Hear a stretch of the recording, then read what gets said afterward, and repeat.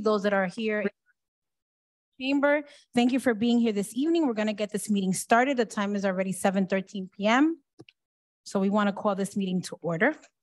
First item is our invocation will be by Chaplain James Farnsworth, who's our Reading Police Chaplain. He's joining us virtual. So I will ask everyone to please rise and remain standing because following Chaplain, we will be doing the Pledge of Allegiance. Good evening, everyone. Let us pray.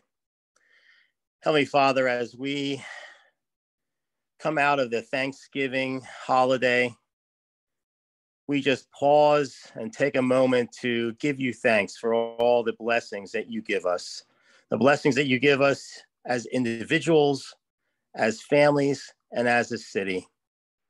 And Lord, as we enter the holiday seasons, we just ask you to um, be with this city, to be with the people of the city, to help us to take a moment to um, just take a breath and to appreciate everything that you give us, to appreciate everything that we have in the city of Reading. We ask you to guide this city, help it to grow, help it to prosper, help it to be a haven for those who are looking for help, help it to be a city where people have opportunities to start businesses and to prosper, and help it to um, to just be a place where people want to come to live in safety and prosperity. Now, we ask you to be with the members of this council as they conduct the business of the city tonight. We ask you to fill them with wisdom, fill them with compassion, with fairness, with justice, help them to work together to the betterment of this city. All this, Lord, we ask in your holy name. Amen.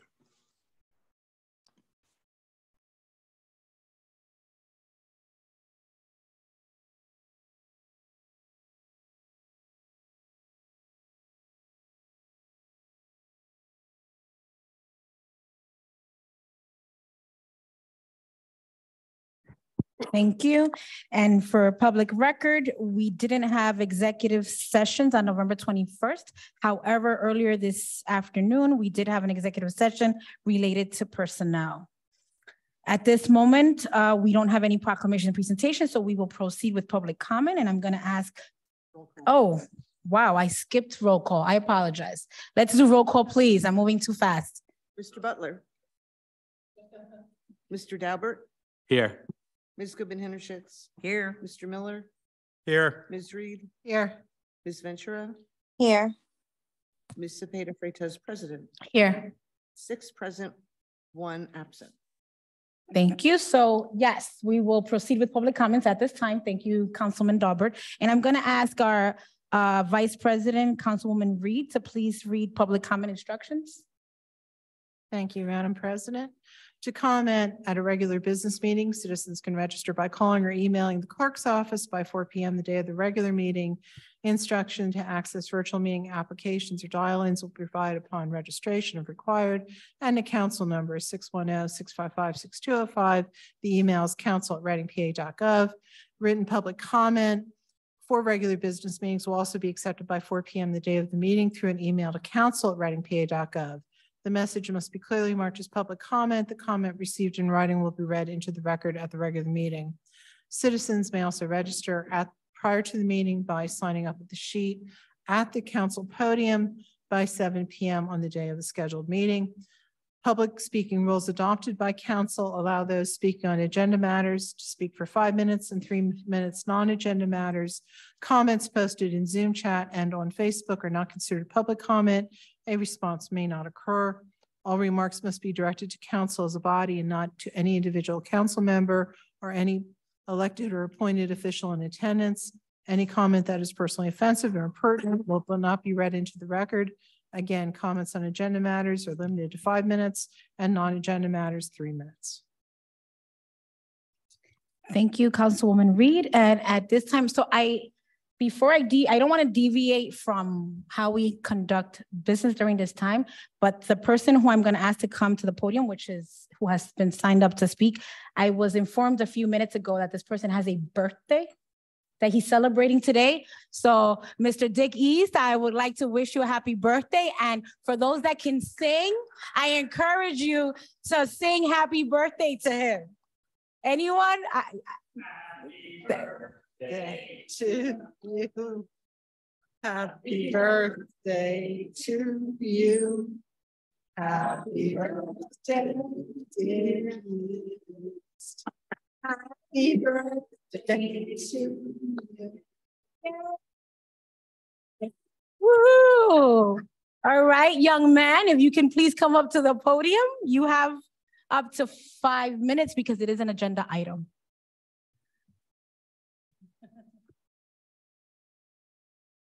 Let the record show that they did not sing for my birthday.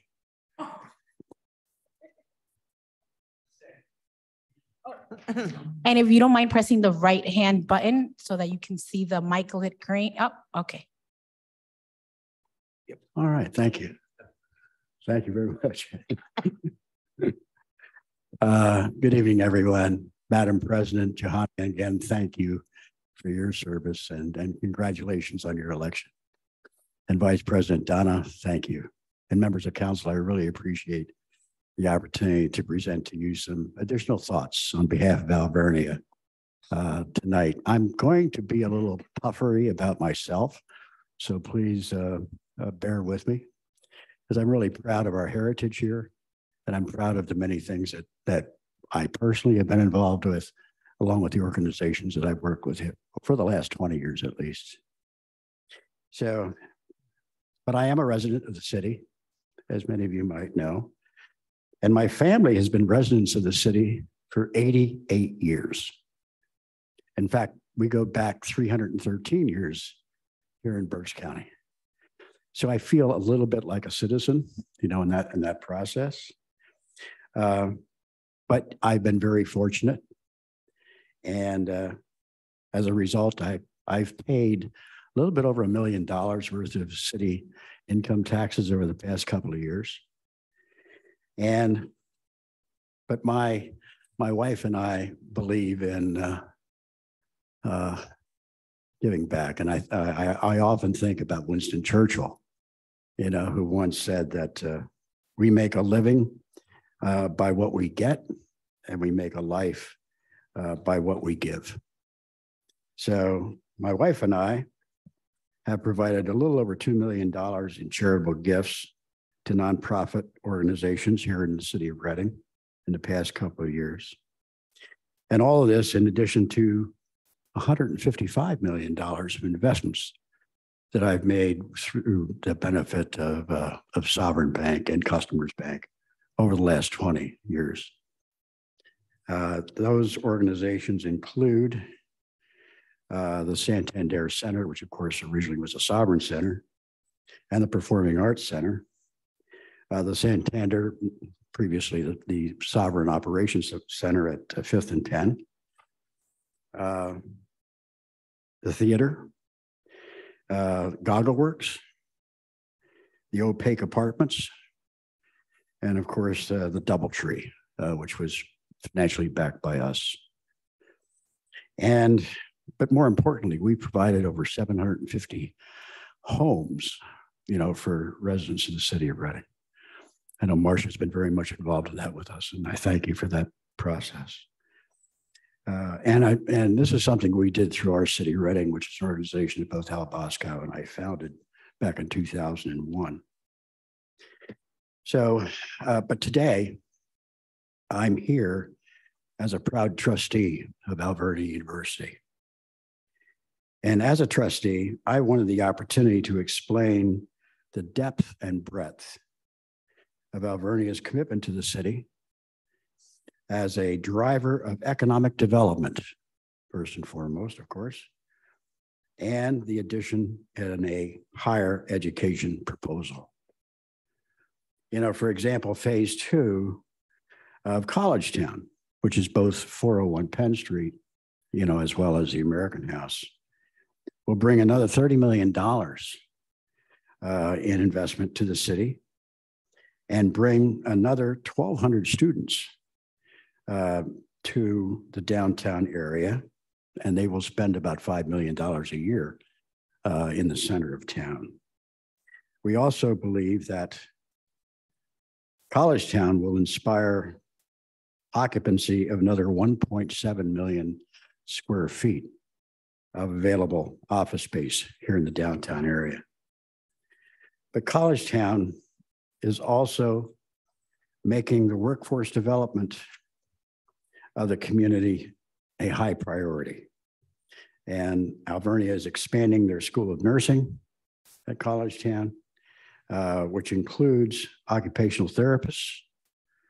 And also, we're adding a physician's assistant program uh, here in, in the, uh, the College Town facility. In addition to adding four engineering programs to the John R. Post School of Engineering. An investment in the O'Pake Institute, which has been a phenomenal success for, for Alvernia, will directly benefit your residents. Alvernia will work through the city's downtown and special projects coordinator uh, to assist in numerous current requests. The city has made of Alvernia uh, certain requests already, uh, but it needs the funding to pursue these initiatives. And finally, the support of Reading College Town has been just short of unbelievable. Uh, the John R. Post Center, second phase, is a $22 million property with the support from numerous private donors, including myself, the County of Berks, and recently a $7.5 million grant from the Commonwealth, the second largest RCAP grant awarded in the Commonwealth. The university has all but funded $2 million of this effort, which is part of our $3 million request of this honorable group. Uh, to begin renovations this coming January. And we are hopeful that we will have the renovations complete so we can uh, welcome the students that'll be here in August of 23. Uh, your support of this $2 million piece of the $3 million we're asking for would be greatly appreciated. Again, many thanks for the opportunity tonight. The decisions that we know are difficult for you. And, and without taking anything away from my good friends at RAC, uh, we please reconsider the direct economic impact of what Alvernia is doing here in College Town and award uh, the grant according to the uh, decisions, uh, which will give us a higher education uh, opportunity here in the city of Reading. Uh, but, you know, the right decisions are, is to evaluate our economic development, benefit to the city, and make the project uh, and the grants accordingly. So I appreciate your time. I'd be happy to answer any questions that you might have. Thank you, Mr. Ehst. Thank you very And much. And we will save comments towards the end. Okay, So thank you. thank you for your time and for your comments. Um, the next person up is Mr. Barry Schlauch. Um, topic is Alvernia allocation. Mr. Barry, you have up to five minutes because it's an agenda item, so thank you. Well, thank you for this opportunity and good evening, uh, Madam President, uh, members of council. And I'm here with gratitude uh, for what we're about to talk about. And not just as a uh, board trustee of Alvernia, but also as a family man and also a, local employer. Uh, you know, first I want to thank each of you and Mr. Mayor uh, for your service. It's very inspiring. And I am so energized. I've been here 65 years. I'm 65 years old. And it's just a wonderful time to do a lot of great things together. Um, we appreciate your consideration uh, for our request. Uh, Dick pretty much covered it. So, uh, uh, you know, I'll just echo, you know, Dick pretty much uh, covered uh, where the money would go, the phase two, and the impact that we would have. Uh, but in closing, I just wanted to say to you that we're going to make, we will make you proud of the investment uh, and the consideration because we're committed to delivering the best possible education to the students. Uh, we're also committed to delivering uh, support for the local entrepreneurs, the local businesses, uh, and providing the support, the process, and the mentoring that they need to succeed to see many, many, many local businesses like Schlauch start up succeed uh, through the support that we provide them with uh, the guidance that will help them manifest a successful business. Uh, and third, um, the continued uh, positive economic impact for the whole city and the people um, as a whole. So I want to thank you uh, for this time. I want to thank you on behalf of my family. Wish each of you uh, the happiest of holidays. thanks for the consideration. Thank you, Mr. Schlauch. The next person up to speak is Dr. Susan Looney, RAC allocation. Dr. Looney, you also have up to five minutes because it is an agenda item, so thank you. Thank you so much. And I also want to echo what my friends and colleagues from Alvernia have said. Thank you so much. This really for, um, for us this evening um, is more of an opportunity to publicly say thank you. We appreciate your service. We appreciate the fact that you have considered all three of the colleges in the city of Reading as a, for equal amounts of 2 million each. And that is greatly appreciated to us. That shows the value that you believe in all of us equally.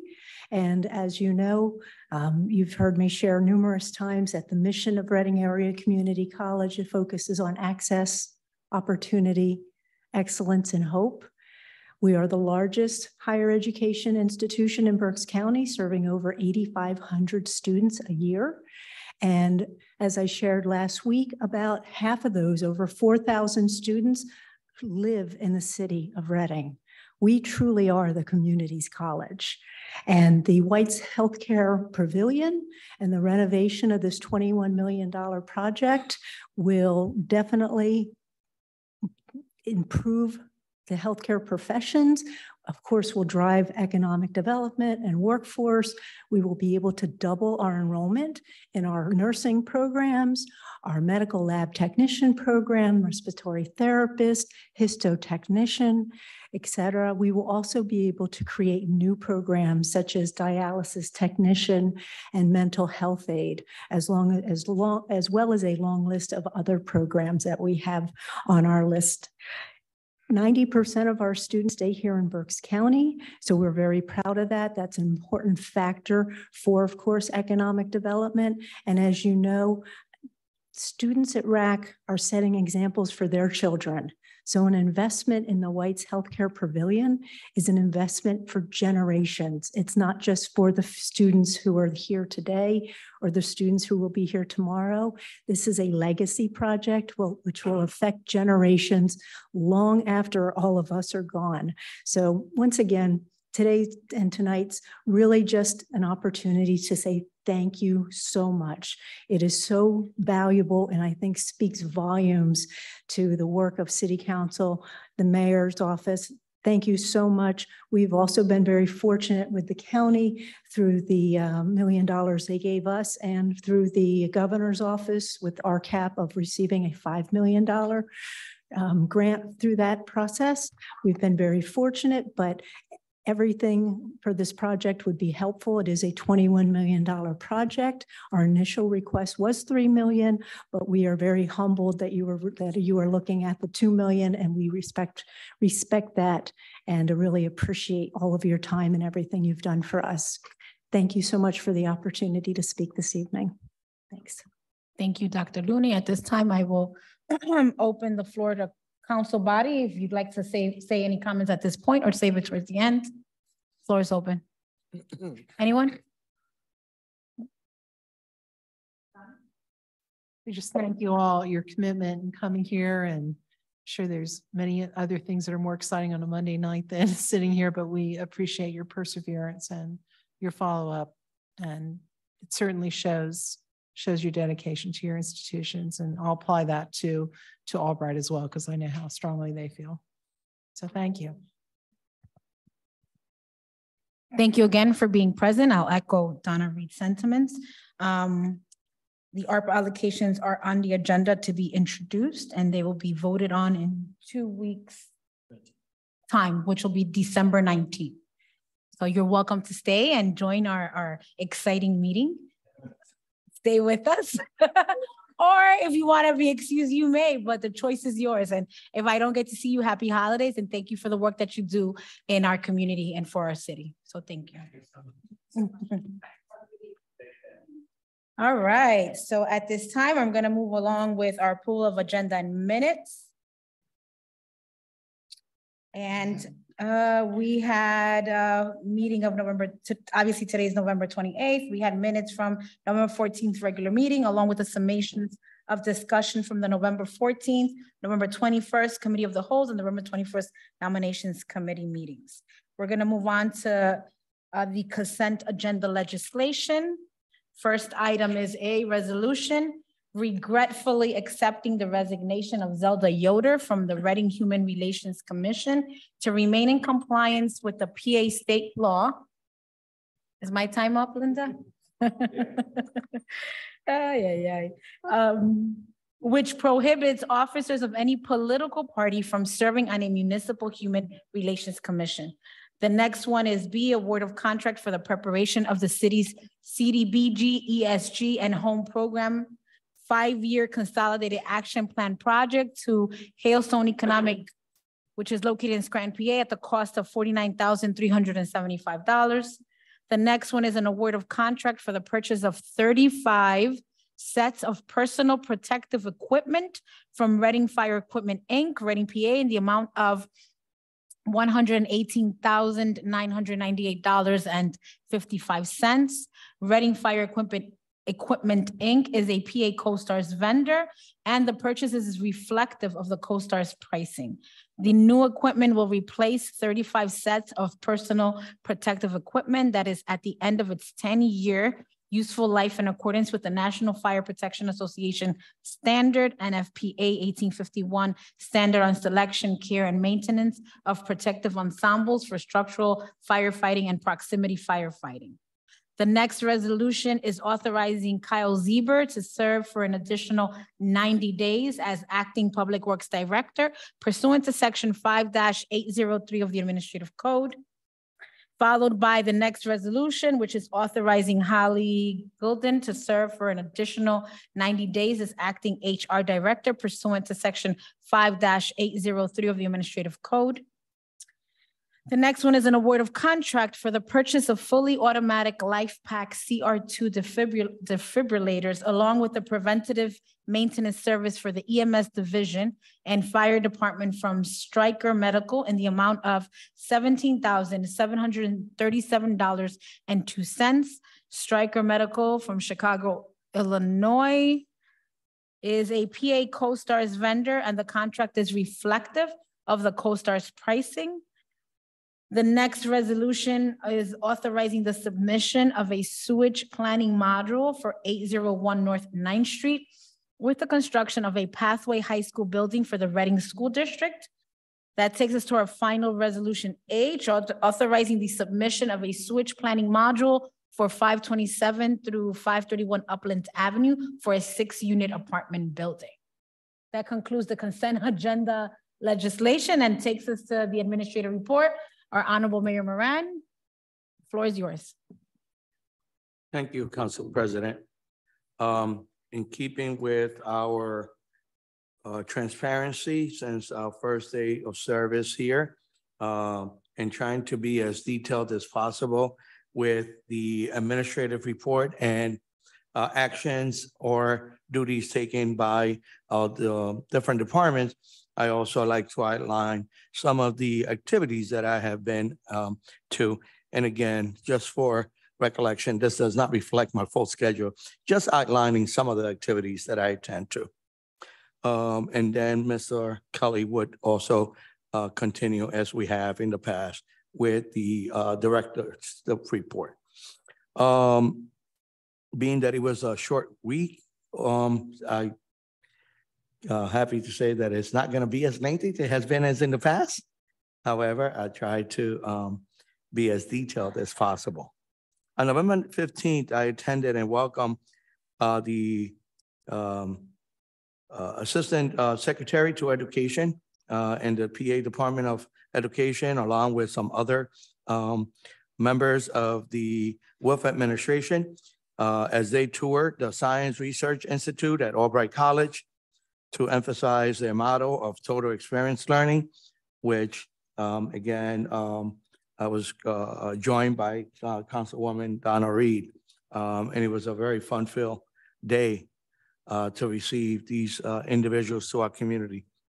Uh, also that day, I attended and gave an inspirational remarks for the annual um, Reading Area College, Community College Scholarship Dinner, which I attended with my wife Ruthie and my son Daniel, uh, where some of the scholarship uh, recipients talked about their experience and how the scholarship helped them get a better life. Um, it was very touching for me as I was able to share a little of my own personal experiences with my education. And again, I was joined by uh, Councilwoman D- Reed and Councilman um, Miller uh, for that uh, activity. Thank them again for being there. On November 16, um, I attended a ribbon cutting ceremony for a King's Experience grooming parlor. It's a location, it's, it's not actually in the city of Reading. However, this individual is in Exeter, uh, in Perkiomen. However, this individual has three different businesses in the city of Reading, and he's just expanding. And uh, I went to acknowledge um, his new endeavor. Um, uh, on November 16, I also had a very fruitful conversation with several of the union leadership that were here tonight um, in my office, along with uh, different um, members of our team um, to make sure that we was uh, getting support from them for the ordinance being introduced for the responsible contracting. On gonna skip that. I'm gonna skip that. On November 18th, I attended the Hispanic Heritage Night at the Reading Royals, um, which was pretty cool uh, to have them even announce the game by uh, uh, play-by-play action in Spanish. Uh, and uh, it was pretty, pretty neat, pretty different to what I have been accustomed to. Um, it had a really good attendance. So I think this is something that they want to do a little bit more often. And we appreciate them recognizing our fast growing Latino community here in the city of Reading. On November 19th, uh, of course, at, many of you were there, we had the City of Reading Annual Holiday Parade, where many organizations um, and marching bands um, uh, were part of the parade, and we are grateful to them and to the participation of everyone in attendance. On November 21st, I attended and participated at a Thanksgiving food drive at Alida's Multi-Services, where I also gave a recognition. On November 22nd, um, I hosted the annual holiday tree lighting ceremony at Fifth and Penn downtown with prayers, prayers, singing, and dancing. In addition to the attendees receive hot chocolate and treats. Again, I want to thank um, Councilman uh, Miller and, and Councilwoman uh, Johanny Freytiz Cepeda for being there. Um, also, I forgot to mention that on November 19th, after the parade, I was part of a turkey giveaway with Malicious Motorcycle Club, La Mega Platinum, um, where 200 turkeys were given away. On November 26th, also on November 24th, on Thanksgiving Day, um, I was able to attend a couple of sites where they were uh, providing uh, some hot meals to the community. On November 26th, um, someone from my staff uh, attended and gave accommodation to Sin Fronteras Jeep Club in celebration of their two-year anniversary. Uh, this particular group has been so involved in our community doing things um, such as making um, and distributing hot meals events to raise money for autism awareness, events for children um, during the Easter hunts, toys handout during Christmas. So they are very, very involved in our community. Um, and we wanted to recognize them. I couldn't be there personally, but somebody from my staff was there. As well as uh, someone from the staff was uh, in attendance at the Olivet's Boys and Girls Legislative Breakfast where they brought us up to date. Um, I'll keep it at that for now, and I'll let Jamal, um, Mr. Kelly, give uh, some of the highlights of the administrative report regarding different departments. Thank you, Mayor. On behalf of the Community Development Department, they've um, begun the process, and I referenced this during the Committee of the Whole meeting, to reach out to several uh, vacant building owners to prepare additional shelter um, opportunities during Code Blue declarations um, during this winter season. The um, lead remediation program has received an additional grant allotment of $575,000 from the Pennsylvania Department of Health to remediate 23 homes within 18 months. The additional funding was given to the city due to the progress and exceptional uh, staff performance with the initial grant of 175,000 dollars for the remediation of nine homes. Um, from the fire department, Ninth and Marion Fire Station construction was scheduled for completion in December 2022. Um, however, we are not immune to the supply chain issues. Um, so due to some furniture uh, being on back order as well as a couple doors, um, we've pushed that uh, completion date date back to January of 2023. Um, so we'll keep you posted on groundbreaking, but we now expect that to be towards the latter part of January of 2023. Human Resources Department would like to welcome Luis Lopez as a telecommunicator in the 911 call center. Um, the library hosted a successful Halloween bash on October 29th. 75 children and adults attended the event, which included uh, live orchestra music, crafts, a STEM project, costume contest, books, and candy. Um, they held uh, additional outreach events throughout uh, the month of October, including story time programs at 13 daycare centers, BCIU Head Starts, um, 10th and Elementary, or 10th and Penn rather, Elementary, and St. Peter's Fall Family Night. The police department conducted a successful traffic and security detail for the annual holiday parade on Saturday, November 19th. No traffic or public safety incidents occurred during that parade. Um, we thank the police department for that. Our Vice um, and Criminal Investigation Division, with assistance from the county law enforcement agencies and the Department of Homeland Security, conducted gun trafficking investigations um, that resulted in three arrests and the seizure of several firearms. There was also an active assault training that was provided to the Olivet Boys and Girls Club by the Reading Police Department.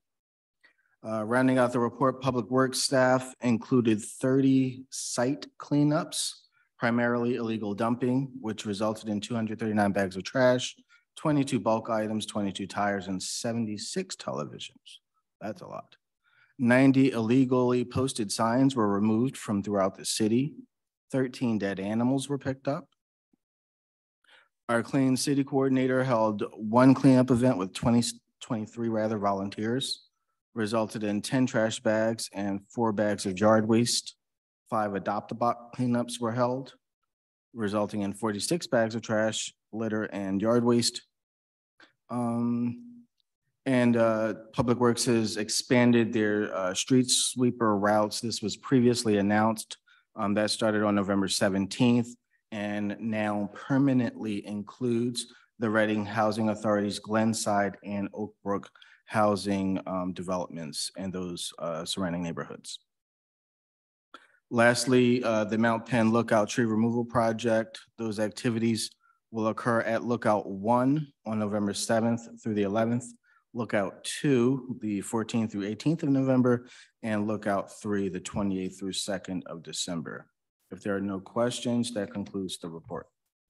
I also want to add um, two quick things that, um, one, I'm grateful to the fact that Uh, our governor-elect, uh, Shapiro has been in communication, uh, with me since a day after he was elected, which I did not expect.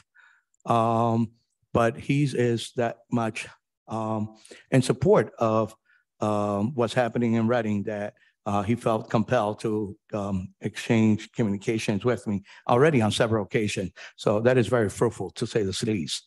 Um, also, I want to remind everybody that uh, this coming Thursday is our first of 10 different days that we'll be hosting um, the Winter Wonderland in downtown, where members of our community could skate at uh, no cost, including skates uh, and the um, uh, uh, uh, time slot, um, up to 60 children and 60 adults per session. So we're talking up to 120 individuals that can skate at no cost from using their skates. However, if there's more people that have their skates and want to skate uh, without the rental, they can as well.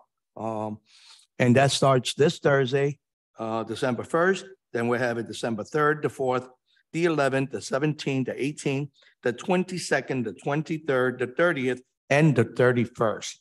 Um, I definitely plan, not on skating, but being in attendance um, this Thursday and to as many as I can, as Danny, my son, is an avid skater and uh, is looking forward to uh, utilizing his skates that he doesn't get to use often. Um, all they need to do is go on to the website from the Reading Royals, and they could sign up for the time slot that they wish to participate in. There are also um, flyers that has a barcode that they could, you know, barcode their um, into the phone and again, select the day that they would like to attend. Um, is it on our website as well? Do you know if it's on our website? Is on our website yet? Okay, I'll make sure that it's, that we get it in there, uh, into our website. So if anyone seeking for it can't find it at the Reading Royals, they could find it at our own website. Um, I would love to see, um, as many council members, uh, join us. Um, and again, not necessarily skating, but in at least to greet the community. Thank you. Thank you, And- Mayor. And, and again, I, I really have to emphasize that I'm truly, truly grateful to all the collaborators uh, that make this possible. You know, the Reading Water Authority, the Parking Authority, the Santander Arena, uh, Slapshot Charities. They were instrumental in making sure that um, we had this opportunity, which is one of the first in our downtown. Um, so again, thank them to, to each and every one of them. Thank you, Mayor, for all the collaborative efforts that your team um, fosters. So thank you for that. Does anyone have any questions or comments at this time for the administrative report? I, do want to congratulate your team um, for the successful parade. I think in the years that I've been in Reading, that's by far the most floats I've ever seen. And I think it was very well attended. It was very well coordinated, as well as the tree lighting ceremony. I have to say that the city puts the events that the city spends time on, on, on hosting are exceptional. So I just want to congratulate your team for that. Um, I, I, I- I do want to say that as we're getting closer to finalizing the budget, that you take a, a deep dive or really assess and evaluate each and every department to make sure that before we vote on this final budget, that you have everything that you need in terms of personnel. So I just wanted to emphasize that because we are getting closer to making the, the final decisions on the budget. And I, I, I'm, oh, based on our needs, I don't, I think that we need more to be reflected on our budget in terms of filling in positions, really looking at um, the right teams in place, if that makes sense. So just want to encourage that. And for that event that's up and coming, let's make sure that we also post it on social media. All right, so no, Mar- Marcia, go ahead. This is a fun question, but is it going to be figure skates or hockey skates? Do you know? Um, It depends on, you know, what skill set you have, what works. So I just wondered. It, it, it's going to be the traditional, um, I- I ice think- skates. I I don't, think, I'll take, I'll take off my solicitor hat and I believe they are all ice hockey skates. It's from the youth hockey program. mostly. Gotcha. Okay, that makes sense. Thanks. It doesn't mean that you cannot figure skate with hockey skates. You know, you could do twirls and, you know, jump Are and, you gonna do a triple Lutz We'll we'll one? have to Yeah, there you talk go. about that There you later. go. You can't do There you twirls go. with hockey skates, but you can. have a lot of fun. Okay, so we're gonna bring it back and we're gonna move, thank you for the comments. Um, we're gonna move on to the report from the Office of the Auditor, Maria Rodriguez, please, the floor is yours. Good evening, everyone. The first item on my report would be the emission fee task of as October 31st, 2022. In 2022, the administration budgeted 200,000 for this revenue line item and as of October 31st, 2022, $670,887.08 in revenue has already been collected, exceeding its budget target by $470,887.08. The second line item is the earning income tax as of October thirty-first, two thousand twenty-two.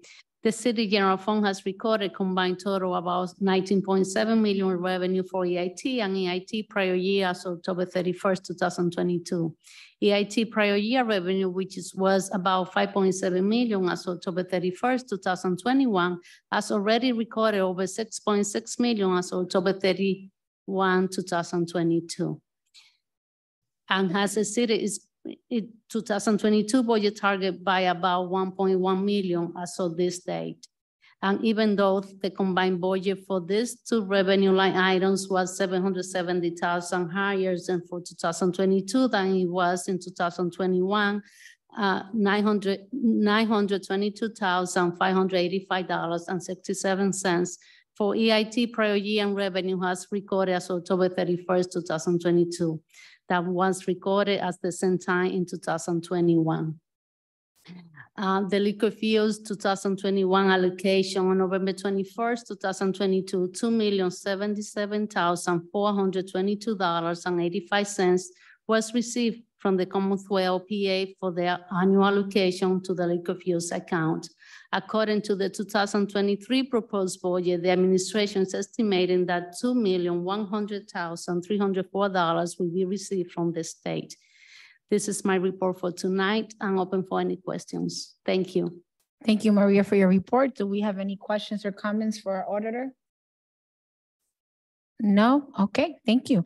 This takes us to the next item on our agenda, which is a report from uh, one of our commissions, our youth commission. I'm super excited to bring Brandon up to the podium and to also welcome Genesis, who's joining us virtually.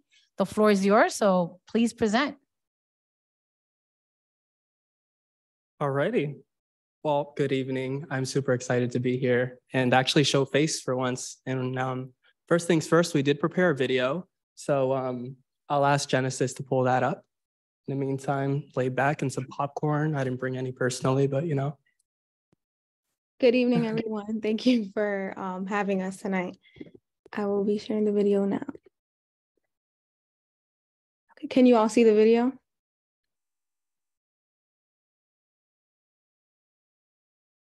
Can you all see the video? Yes, we can see it. We can't hear it as of yes. I think you have to press play, right? voices and our perspectives are strong. Our views have value. We're just getting started. We need you. The Youth Commission kicked off in November of 2021. We made informational videos for our social media page. We attended local events to recruit new members.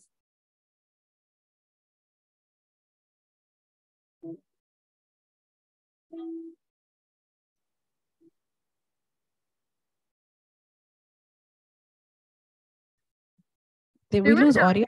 As youth commissioners, we reached out and connected with local organizations. The Real Deal 610 invited us as guests on their BCTV episode, introducing the Youth Commission. We were a part of the Halloween on Penn event for the second time.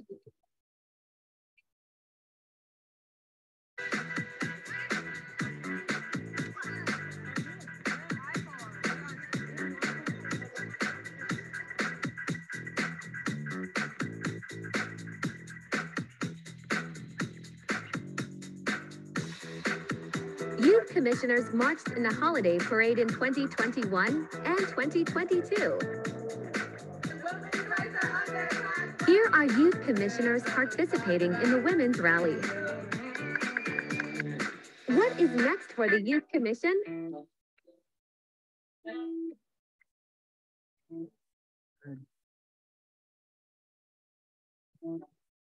We are now collaborating with the village at the Teen Cafe.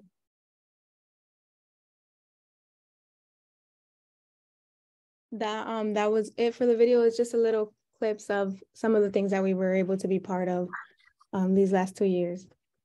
I'll pass it on to Brandon now. Thank you. And full disclosure, Genesis did the whole video and she's phenomenal. She's been a integral part of the commission. But um, yeah, I represent the fourth district. Um, my name is Brandon Hernandez. I was raised in Reading, um, went to Reading High, and so did Genesis as well. I currently go to Albright College. So I'm really excited that I can actually get involved with the city. And I think that's at the core of what the Youth Commission to this day really represents. It's just, uh, you know, the youth ages 14 to 22 that really want to get involved in the city and we want to represent our views. Um, so as Genesis mentioned, we uh, worked on a couple events, um, including collaborations with the Village, Real Deal, um, even the Berks History Center as well. And um, this goes on from we wrote letters of support in ARPA grants to um, in their pool collaboration as well. We were there and um, we're just getting started, as they mentioned. So um, to this point, uh, we're actually, we launched a committee and this is to just uh, look over our role as an advisory board and whether this aligns with uh, the current uh, projection for the Youth Commission. Um, and um, in regard to this committee specifically, I think our biggest target is whether um, our age range from 14 to 22 is something that we want to continue or whether we want to revamp um, in terms of making maybe two groups, maybe from 14 to 18 and from 18 to 22, just because there is, um, it, it's a little difficult to represent the views because as a 21 year old, I'm going to college and I can't really represent the views of someone going to Reading High. Um, so this is something we're exploring in the committee. Um, and we're we're only getting started. We want to take an active role, which is why we also first time we also propose a budget. And so we just ask that we are able to lean on the the council and uh, special thanks to the mayor as well for all the support. So um, we just want to lean on you guys and we want all the help we can get. If you uh, have any ideas, um, if you have any visions, especially if they're 275th, we are willing to uh, put into work. Excellent. Um, yes, Chris? Um, congratulations on on the success. And I also just want to offer my support to that splitting up of ages. I actually think it may even be necessary, like in terms of clearances and those types of things, when you have minors involved. Um, what one thing that I would love, I would love to hear directly from our youth is is for you guys to take a look at the structure of how we do things and make and because I have this question, I have my own hypothesis of why younger people are not getting directly involved in the in, in these seats um, often, except for Councilman Butler. I have my own own hypothesis, but I wonder if there is something structural in how we carry out our meetings that is really prohibitive to younger people getting involved. So um, you know, that's like a personal ask. I would love for the youth commission to come up with with a rationale for that because you know we, we always say that we want young people involved and then we don't ever look at the structure that's likely keeping them from running in the first place. So um but then i don't know. So i i look forward to hearing about that.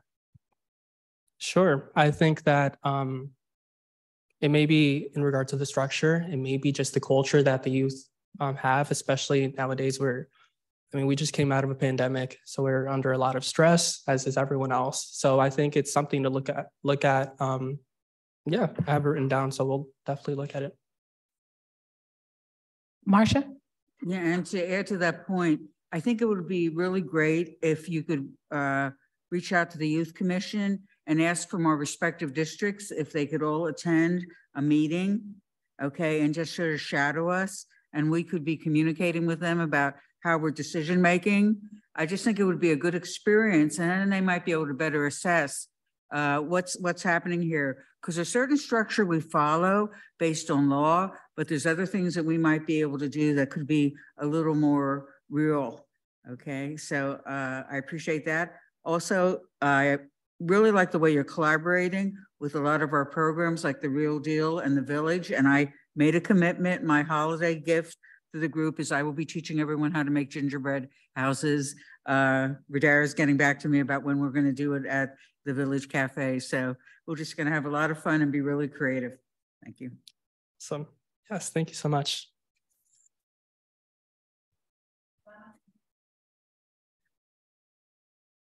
And youth was a long time ago, but I have to tell you that Muhlenberg High School Marsha was the winner of the Betty Crocker Future Homemaker of America Award. So you're getting it from an expert. How's that for embarrassment, Marcia?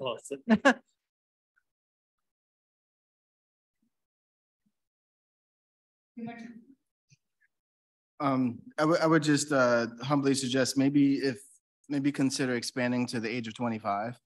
Um, as I was mentioning to the mayor, um, you know, my bachelor's is in political science, but I had no idea of the level of engagement and involvement coming out of college that we all do here on the local level. And your ability to be directly impactful um, in determining your actual quality of life is um, way bigger than you might realize, especially in a relatively small town like Reading. Um, so yeah, you um, and your cohorts, please um, engage and consider all of us, and especially me, as I told you, a resource in, in your efforts at strategizing or whatever it is you're doing. Um, and great work on the video. Uh, we might have to get you as interns to help us in our media department. Yeah, no, that's all Genesis. So uh, I'll I'll leave it to her. But um, no, we we do appreciate it, and um, I think you know the the 25 year um, increasing it to 25 i think that's really interesting and it's something that i would be willing to consider because um you know we're, we're coming out of college and then we gain some perspective on the world and then we can apply that um, so that's wonderful. And um, i just want to echo everything that i've heard as well in terms of just collaborating with you guys. Um, i think uh, you are all a wealth of knowledge and um, you you can really offer us uh, a lot of direction that we really need um, and mentorship as well. So we appreciate it and we appreciate that willingness. Um, yeah, I um, want to echo what uh, Mr. Kelly, when he told me they should expand to 25, he just brought me back to when I started my community activism, I was 25 and uh, I was 27, which I, not a lot of people know this, but when I was uh, elected to my first elective position in New York as a state Democratic leader, I was 27, uh, and that was where all of this, and here I am today. However, I mainly wanted to uh, share and acknowledge and apologize to you and Genesis and the Youth Commission not acknowledging you during my report because you guys have been there for every activity that um, we have done out of the city. Uh, you and Genesis and many of the others are always uh, there. Uh, and for that, we are grateful. We are truly, truly grateful. I mean, you spent countless hours, you and Genesis, during the Halloween on Penn specifically, you know. Um, but there were so many others that weren't even on the video activities that uh, maybe you didn't have uh, um, uh, capture uh, video for. But uh, you, I know that you have uh, participated. Um, I just want to say out loud too, and I don't mean to embarrass you, but I am. I am so proud of you, Brandon. I've known you since you were what, seven, eight years old um, in Little League Baseball. Um, a lot of people don't know that you are an incredible uh, trumpet player, and I cannot see, I cannot wait to see you in Berks Jazz Fest or, or, or, or one of the festivals out here, um, as you are also, um, again, an incredible individual um, for our community and uh, uh, uh, somebody that our youth could look up to. The same goes for Genesis. You know, I've seen you working very hard at a local restaurant that we all familiar with. And uh, you have been, again, a shining star in our community for our youth. So I hope you guys will join us on the I know you will, on the skating uh, and bring some of the youth to come and participate and take part of. So again, thank you so much for everything you guys do. Genesis, thank you. Thank you, Brandon. No, thank you so much. Your words are, eh, they mean a lot. And um, it only makes us want to continue doing what we do. And um, no, genuinely from the bottom of my heart, I appreciate it. Thank you. Thank you, um, Mayor, for your kind words. Um, and Brandon is so talented. We're lucky to have him in the youth commission.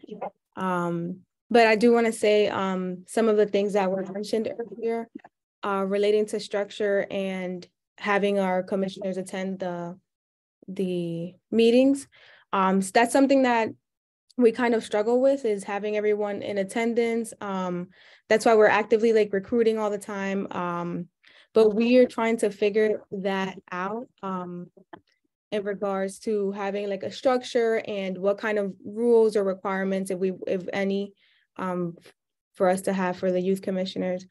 Um, so we definitely be rely, you know, heavily on your guidance um, as we start this um, the youth commission as you know something that goes on and, and is strong um, throughout the years.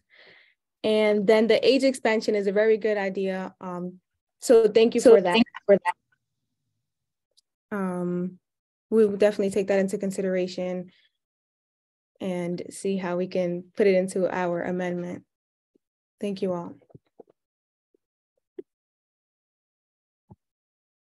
Thank you for coming and speaking.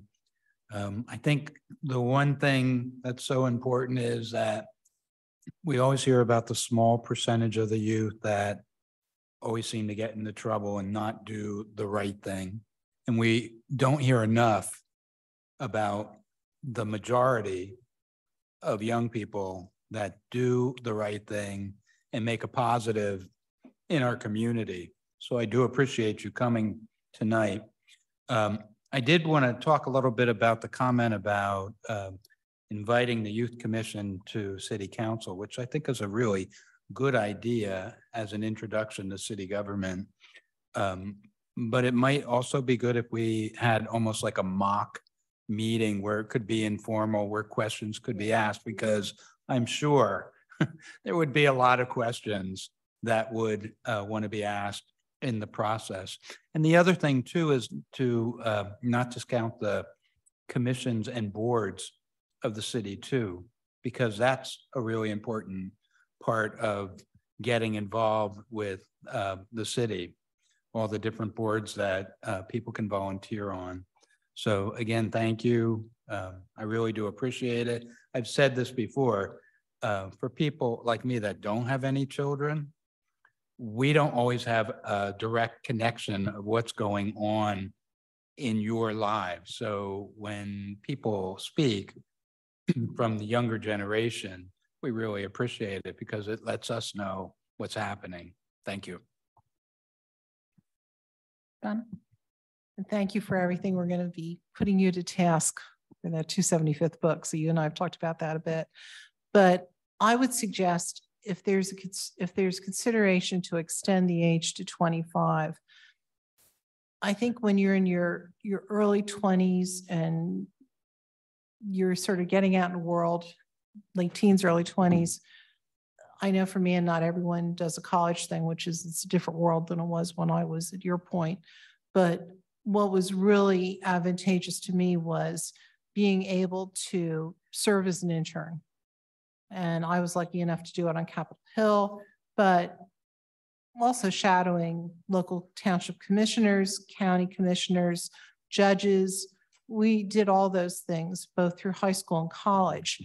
And you're at that cusp of your life of young adulthood when you're looking at it differently than you look at it when you're 14 or 15 or 16. It's not discounting folks who are in that age group. Some some people in that age group, I know I, I knew exactly what I wanted to do when I was that age group and I pretty much followed through. But the pragmatic internships in your late teens, early 20s are really critical because that gives you a sound insight into what these positions do on every level, local, state, national. So I would encourage maybe not that extended group being youth commission, but young adult legislative commission or something, and have that as a special targeted group that would then shadow, participate, really see the world in, in yet another level than what you're seeing it now. And I think it's really advantageous. It will bring more people into the, to the process from boards, authorities, and commissions to elective office to, to work within city hall or county government or state or federal government. So think about that as you look at that age group, I would say 20 to 25. By 25, you're pretty, you know, the count, the country, I believe in Florida, just elected a 25 year old to, um, to Congress. And one thing I learned when I was shadowing a lot of things when I was younger is that I learned, I thought I knew everything and I learned what I knew, I knew so little. And your world really opens up to you when you're, when you're one-on-one with these folks. So long story short, and I've went on far too long, but if we can have like a young legislative commission or something, I think that something like that is separated from, but working in tandem, almost like the liaison of the ages of, of the folks that are doing things now and the folks that are looking to do things. Um, maybe it's something to consider going forward. Thank you, Councilwoman Reed. Um, I too want to congratulate the Youth Commission. Thank you, Brandon and Genesis. And by the way, to the council body, numerous times that these two young individuals would fill in and do my uh, uh, district shows on BCTV. So I'm putting it out there in case sometimes you can't make it. and I'm, I'm volunteering you both, obviously, but they always did a great job. We work on topics and they kind of like fill in for me, especially times when I had to be at the hospital with my dad. So I'm very grateful to you.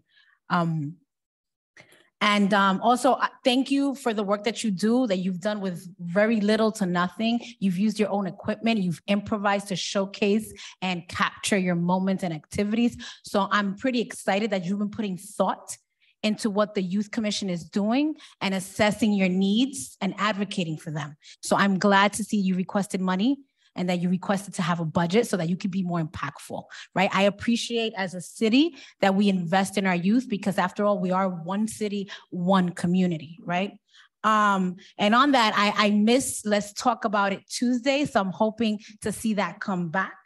And I want to also uh, remind you, right, that the city is hiring, right? So as we're getting ready to graduate or if we're looking for opportunities, there's a lot of vacancies. And, you know, to piggyback on what uh, Councilwoman Reed said in terms of internship, I'm sure there's opportunities in City Hall for internship so that you can figure out what you like and where your fit could be. I also encourage you to do some job shadowing and really learn what it means to work at city hall. Like explore all the departments because then you'll be better advocates and and cheerleaders right for for our city and you'll be able to champion our mission. Again thank you. I'm super excited to to continue to working with you in some capacity to be of support.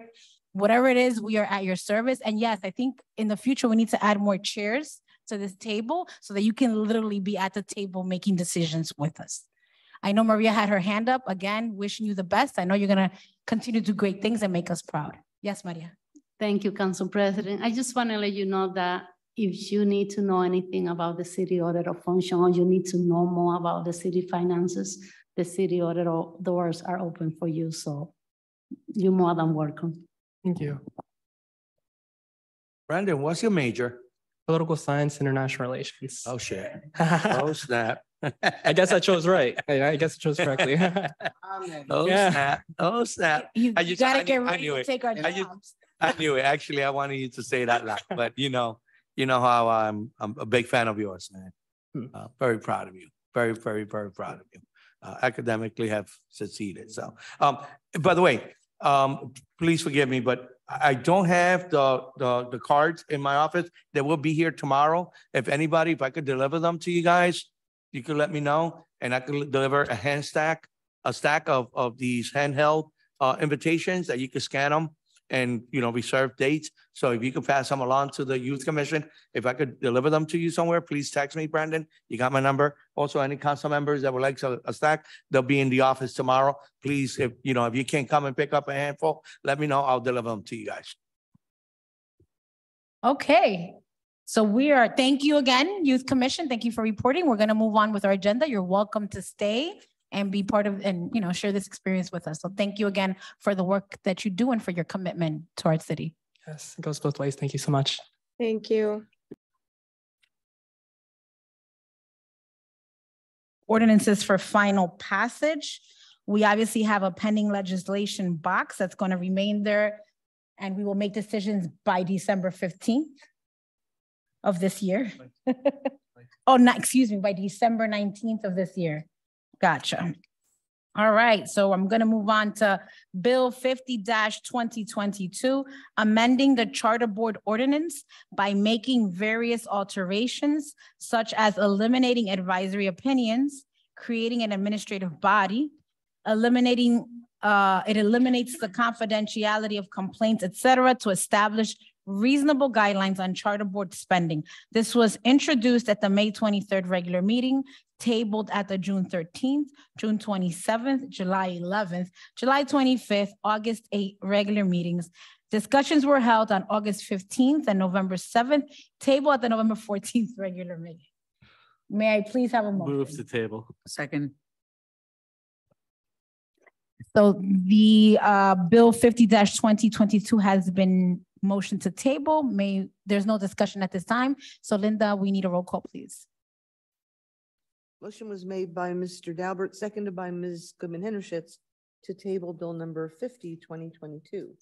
Mr. Daubert, Yes. Ms. Goodman Hinnershitz, yes. Mr. Miller, Yes. Ms. Reed, Yes. Ms. Ventura, Yes. Ms. Cepeda Freytiz, president. Yes. Six yeas, no nays. Next bill is number 125-2022, amending City Code Chapter two twelve, Fee Schedule, Section one thirteen, Fire Prevention, Fire Protection, and Medical Transportation, Section thirty-six, Fire and Rescue Services by making modifications to the fees and requirements. This was introduced at the November fourteenth regular meeting. May I please have a motion? So moved. Second. It's been moved, um, a motion to, to, I'm sorry. The floor is open for discussion. Any comments or questions at this time? It's been a long evening, bear with me. Okay, Linda, maybe please have a roll call. Motion was made by Ms. Goodman seconded by Mr. Miller to, uh, Mr. Miller. didn't I say that? Oh, sorry about that. Ms. Reed, seconded by Mr. Miller, to enact Bill number one twenty-five, uh, which amends the fee chapter related to fire fees. Ms. Goodman Hinnershitz, Yes. Mr. Miller, Yes. Ms. Reed, Yes. Ms. Ventura, Yes. Yes. Mr. Peter Freytiz, president. Yes. Six yeas, no nays. The next bill is number one twenty-six, one twenty-six twenty twenty-two, amending the two thousand twenty-two self-insurance fund, two thousand twenty-two budget to budget for fund expenses through the remainder of two thousand twenty-two by increasing the budget line items incurred liability claims, number five two one one zero four seven four nine zero, in the amount of four hundred and twenty-four thousand, three hundred and forty-eight dollars and forty-four cents, and premium payments, line number five two one one zero four seven five two zero, in the amount of two hundred and will be funded by an increase in transfer from fund balance budget line item five two one one zero zero three nine nine zero zero in the amount of seven hundred thousand, four hundred and nineteen dollars and seventy-four cents. This was introduced at the November fourteenth regular meeting. May I please have a motion? So moved. Second. Any comments, discussions at this time? Linda, may we please have roll call? Motion was made by Counselor Goodman Hinnershitz, seconded by Counselor Daubert to enact Bill number one twenty-six, which amends the self-insurance fund related to employee parking costs. Mr. Miller, Yes. Ms. Reed, Yes. Ms. Ventura, Yes. Mr. Daubert, Yes. Ms. Goodman Hinnershitz, Yes. Ms. Cepeda Freytiz, President, Yes. six yeas, no nays. What? You said parking, that's the next. All right, that takes us to bill number one two seven twenty twenty-two.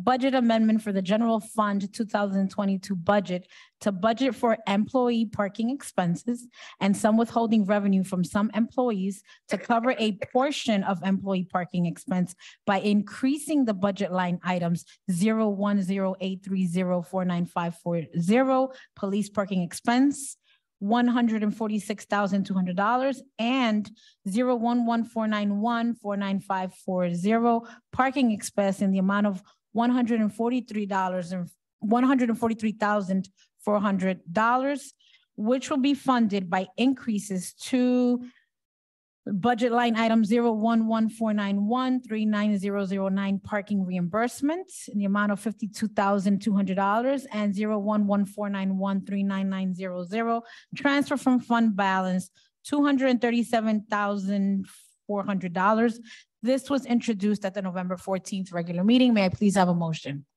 So moved. Second. Any discussion or conversation at this time? I just want to congratulate you for being so clear and concise about those uh, two ordinances. Thank you. Thank you. Linda, may we please have roll call? Motion was made by Counselor Reed, seconded by Counselor Goodman Hinnershitz to enact Bill number 27, 2022, which makes budget amendments related to the city's cost of parking expenses. Ms. Reed, Yes. Ms. Ventura, Yes.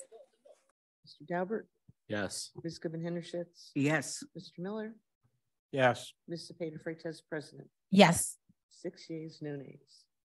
That takes us to the by, uh, the final, uh, bill number 128-2022 authorizing the execution of a lease agreement between the Reading Police Department and Alvernia for office and meeting space at four zero one Penn Street for a ten-year term at no cost to the city.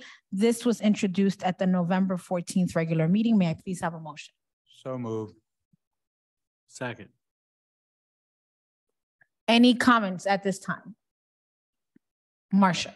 Yeah, and I just think this is such a perfect example of partnerships. I've seen the work that's being done when you go in to visit the campus downtown. And I think the police have become an integral part, which really helps the students as far as security and such. And so I'm glad we're able to work on this type of agreement. Anyone else? Linda, may we please have roll call? Motion was made by Counselor Miller, seconded by Counselor Daubert to enact Bill number 128, 2022, um, which authorizes the execution of a lease between Alvernia and the Police Department for office space and meeting space. Uh, Ms. Ventura, Yes. Mr. Daubert, Yes. Ms. Goodman Hinnershitz. Yes. Uh, Mr. Miller, Yes. Ms. Reed, Yes. Ms. Cepeda Freytiz, President, Yes. Six yeas, no nays. At this time, we're moving into introduction of new ordinances and Councilman Daubert will read those into record. Yeah, um, all of these will be voted on at the December nineteenth regular meeting as our regular meeting next week uh, does not allow for the fourteen days the charter requires. So, A ordinance authorizing the amendment of the Public Works budget in the amount of three hundred thousand dollars to cover the city's electric bills through the remainder of twenty twenty-two. B ordinance approving the vacation of the seventeen hundred Church Street between seventeen twenty-five North Fifth Street and seventeen oh four North Sixth Street, which bisects the former Vince's Towing property.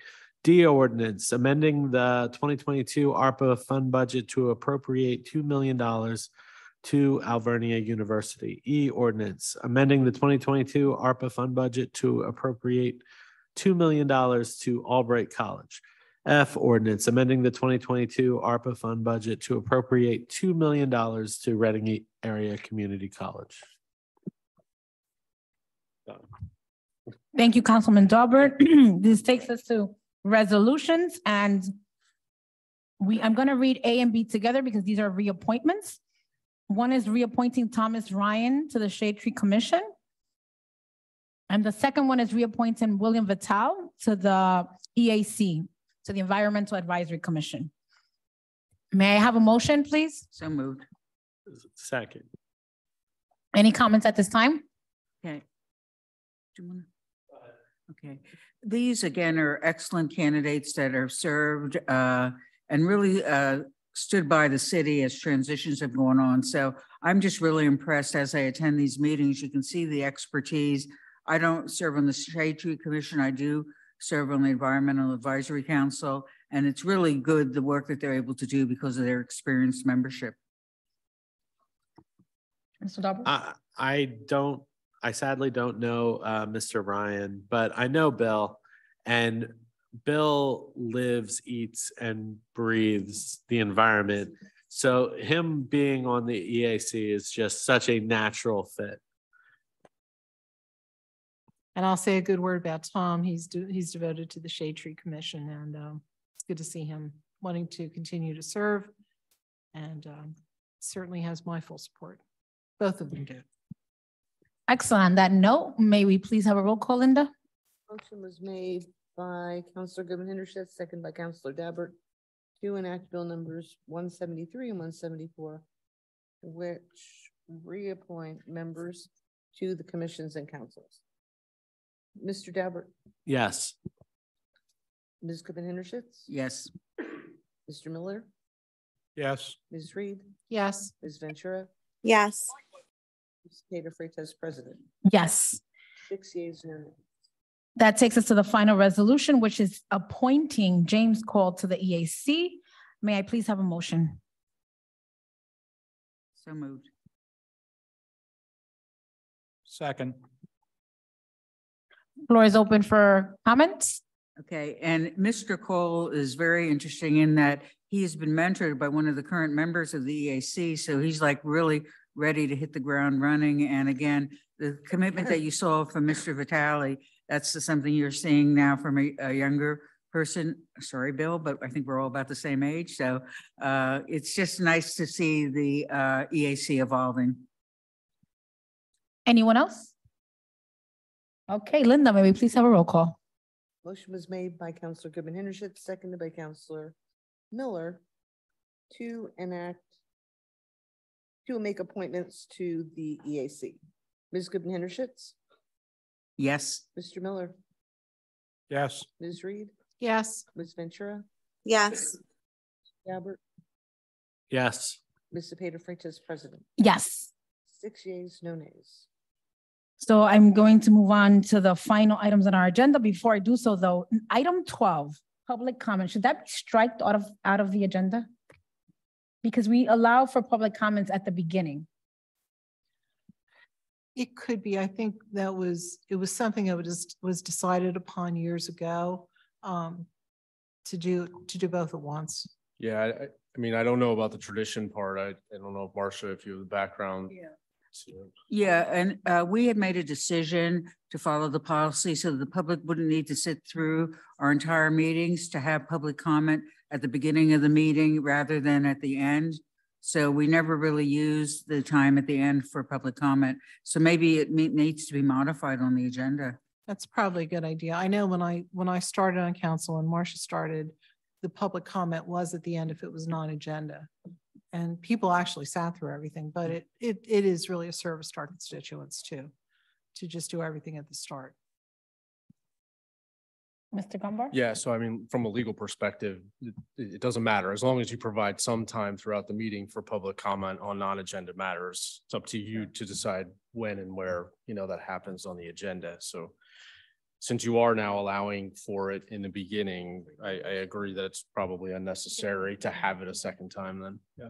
Yeah, I just want to, in an effort to be clear, I don't want it to be misleading. 'cause I, I recall at one of our prior meetings, somebody asking about that and it, and it, you know, I, I, I made, I made a mental note and I've been wanting to say something about it. Now I was reminded. So maybe we can strike it. There we go. Absolutely. Yes. There we go. And on that note, the floor is open for council business, comments, etc. Who would like to say something? Mr. Daubert? I'll be super quick. Um, on last Friday, uh, Councilwoman Reed and myself had the uh, pleasure of attending another um, great business opening in the 18th Ward. Uh, Chatty Monks has now lived up to its, when it first came uh, in West Reading, it, it always said Reading, and it bothered me because I was like, you're in West Reading, you're not. That they have uh, their tasting room open in the 18th Ward. It's beautiful. I, yeah, I encourage all, We bought them and took them home. all residents that are age, age appropriate to do so responsibly to um, check out the tasting room.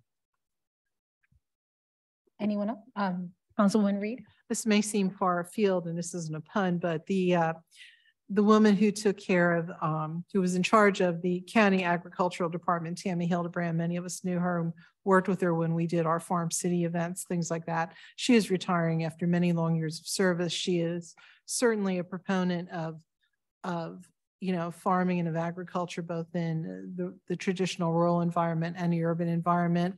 So I just want to wish her the best of luck going forward. She was a joy to work with. I'm sure her successor will be as well. And um, it was, it's really great to see, um, to see dedicated folks on whatever level of government who have put a lifetime of service in for the community. So wishing, wishing Tammy all the best in her retirement. Just want to mention two things that are happening in District Six. One, a fun event, the other one, not necessarily fun, more solemn, and that's tomorrow night. The LGBTQ Center at six forty Center Avenue will be having a candlelight vigil um, that will uh, proceed from six forty Center Avenue, which is Calvary Church, walk across the street to uh, Center Park, and that starts at five forty-five. And then on um, a more happier note, on Saturday is the official lighting of the tree in Center Park, and that is at four thirty, December third. There'll be popcorn and hot chocolate, so come on out and have a fun time. Will Santa Claus be there? And Santa Claus will be there with an early visit. Marcia? Okay, and in case as you uh, participated in the tree lighting and you saw the menorah at the other corner and may have wondered, well, why didn't that get lit? Okay, it is uh, with Jewish tradition, according to the Jewish calendar, and it changes every year depending on the calendar. So this year Hanukkah starts on December 18th, and I'm working with the mayor's office to set aside a special uh, night, uh, either the 20th, the 21st, or 22nd, to light the menorah on Penn Square. Meanwhile, I'd like to ask if council, when we have our meeting here on December 19th, since it's the second night of Hanukkah, I can actually light a real menorah with the candles and say the prayer as part of our opening uh, of our meeting. Okay. Thank you. Yeah. Yeah, and it, it- and please bear with me. I know my Hebrew, but I don't sing that well, so we can do what we need to do. And even though it's not in the city, many of us share the joys of going to the Christkindl Markt at the Reading Liederkranz. So it's part of the Mount Penn Preserve. So this Friday night, Saturday and Sunday, you're going to see the real German traditions, including uh, the Belsnickel and, you know, all the other nice, fun kinds of things that can happen. So if you're not doing anything on those days, please uh, come up. And if you haven't bought your Christmas wreath yet, it's a great place to get live wreaths. Thank you. And you know, that's a reminder, is in an effort to be more inclusive, right? You know, this is kind of like a call to our community for invocation purposes that we want to be mindful of. Uh, all, all powers, all people and all powers, right? And what we, and our belief system. So, you know, you can always call our city clerk's office if you have any recommendations or suggestions. So thank you for that. And we have to be mindful of Kwanzaa too and how we want to incorporate that this Mhm. year. Absolutely. Melissa, is there anything you'd like to share? No. Okay, thank you. So on that note, I have just a couple of things. First, I want to thank everyone for being so committed. You know, we have these long evenings, these discussions, but at the end of the day, we tend to be very productive. So I'm grateful for that. Also, just a reminder of, you know, now that we've completed kind of like the ARPA section to some extent, to just let's be mindful of small business. So just keeping that relevant in your minds. And uh, yeah, I guess we will see each other tomorrow. Have a great week until next week, Monday. See you on Monday. Oh, wait. Right. So we have a meeting December 5th. It will be a committee of the whole budget review at five, followed by our regular meeting at seven. Then Monday, December 12th, we have nominations and appointments committee at four, followed by committee of the whole at five. That takes us out to Monday, December 19th, which will we'll have a committee of the whole at five, followed by our last regular meeting of the year at 7 p.m. So stay tuned, stay active, stay involved, and thank you for being members of our city and community. Have a good night. Motion, we need a motion. So moved. Mo- meeting adjourned. Thank you.